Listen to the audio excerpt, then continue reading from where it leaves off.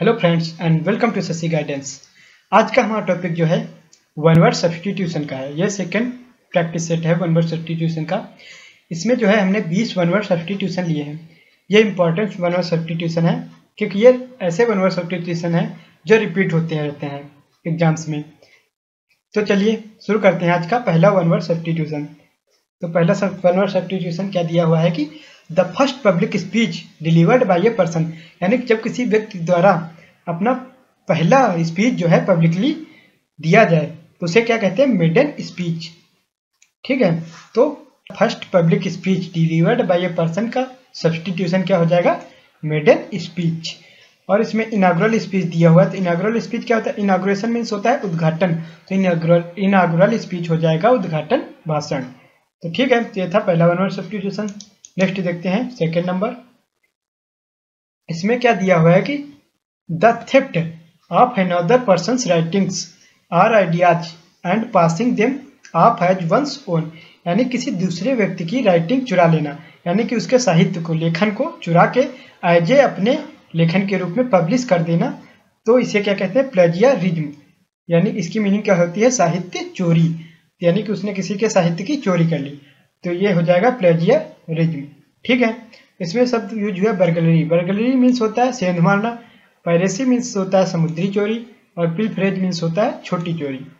तो यहाँ पे सेंटेंस क्या था? The theft of another person writings or ideas and passing them off as one's own इसका सब्सटीट्यूशन हो जाएगा प्लेजियरिज्म साहित्य चोरी। तो ये था नेक्स्ट सेकंड वन सब्सटीट्यूशन चलिए नेक्स्ट देखते हैं। नेक्स्ट है थर्ड नंबर इसमें क्या दिया हुआ है कि one who has suddenly gained new wealth power और प्रेस्टीज कोई व्यक्ति सडनली यानी कि अचानक से उसे वेल्थ पावर और प्रेस्टीज मिल जाए तो उसे कहते हैं पारवेन्यू तो इसका सब्सटीट्यूशन क्या हो जाएगा? पारवेन्यू तो one who has suddenly gained new wealth power और प्रेस्टीज मीन्स हो जाएगा पारवेन्यू ठीक है? तो ये था थर्ड सेंटेंस अब नेक्स्ट देख लेते हैं फोर्थ नंबर फोर्थ क्या है कि a supporter of the cause of women यानी कि जो वुमेन का सपोर्टर हो वुमेन के वेलफेयर के लिए जो काम करता हो, उसे बोलते हैं फेमिनिस्ट फेमिनिस्ट हो जाएगा। A supporter of the cause of women का सब्सटीट्यूशन हो जाएगा फेमिनिस्ट ठीक है? इसमें यूज़ हुआ है एक्सटेम्प्योर एक शब्द ये है ऑप्शन में। एक्सटेम्प्योर मीन्स होता है बिना तैयारी के भाषण देना। यानी कि आप कोई स्पीच दे रहे हैं और उसकी प्रिपरेशन ना करके जाएँ। ठीक है? तो बिना तैयारी के जब हम स्पीच देते हैं तो उसे एक्सटेम्प्योर बोलते हैं। एक्सटेम्पोर ठीक है? तो ये था फोर्थ नंबर चलिए फिफ्थ वन वर्ड सब्सटीट्यूशन देखते हैं। फिफ्थ क्या दिया हुआ है कि one who believes that everything is predestined यानी कि जो व्यक्ति इस इस पर भरोसा करता है कि सब कुछ पहले से ही लिखा गया है, लिखा हुआ है, यानी कि everything is predestined तो उसे कहते हैं भाग्यवादी, यानी कि फैटलिस्ट हो जाएगा। तो इसका सब्सटीट्यूशन क्या हो जाएगा? Fatalist one who believes that everything is predestined predestined तो क्या हो जाएगा? फैट लिस्ट इसका सब्सटीट्यूशन ये था फिफ्थ नंबर चलिए नेक्स्ट देखते हैं।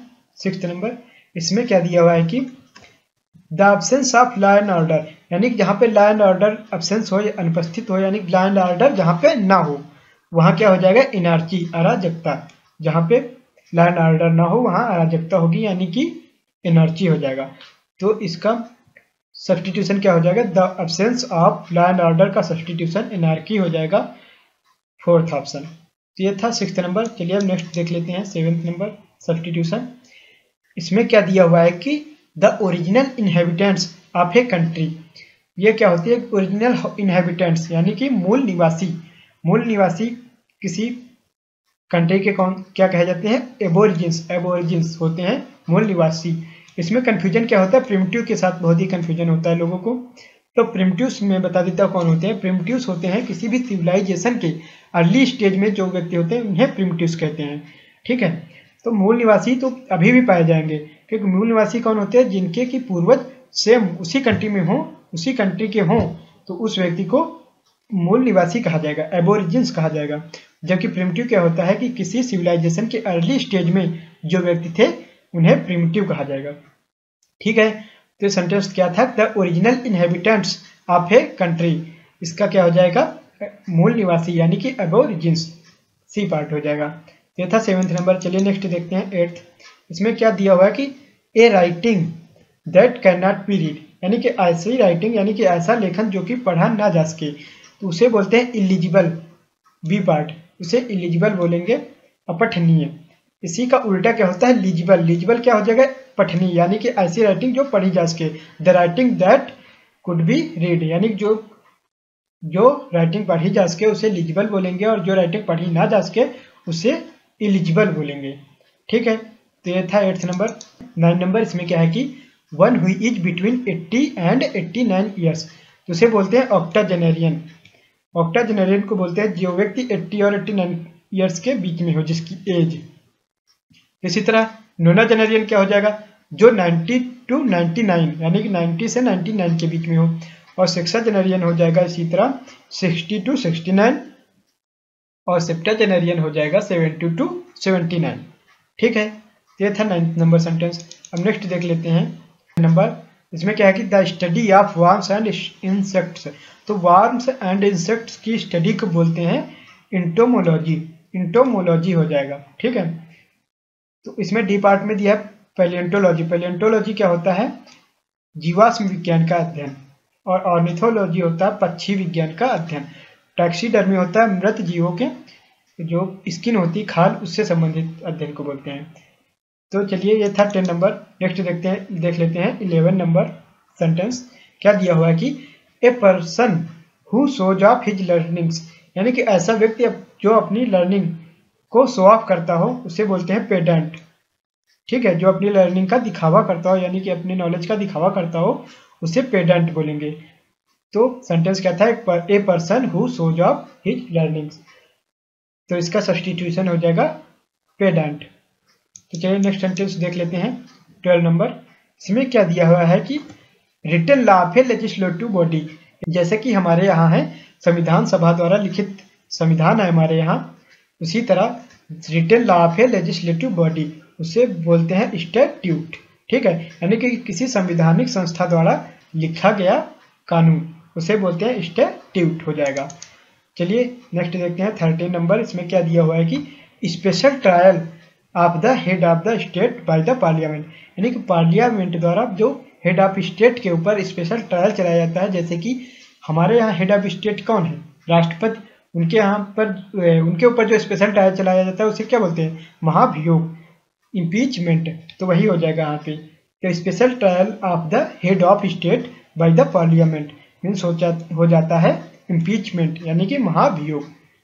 तो ये हो जाएगा थर्टीन नंबर नेक्स्ट देख लेते हैं फोर्टीन नंबर इसमें क्या है कि one who eats human flesh यानी कि जो ह्यूमन फ्लेश खाता हो उसे बोलते हैं नरभक्षी यानी कि कैनिबल ठीक? तो इसका सब्सटीट्यूशन हो जाएगा cannibal one who eats human flesh हो जाएगा कैनिबल चलिए नेक्स्ट देखते हैं। फिफ्टीन नंबर इसमें क्या दिया है कि ability to go on in spite of difficulties यानी कि कठिनाइयों के बावजूद चलते रहना।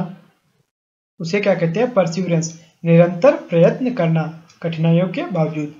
उसका क्या हो जाएगा? परसिवरेंस तो सेंटेंस क्या था? Ability to go on in spite of difficulties का सब्सटीट्यूशन हो जाएगा परसिवरेंस ये था फिफ्टीन नंबर नेक्स्ट देख लेते हैं सिक्सटीन नंबर इसमें क्या है?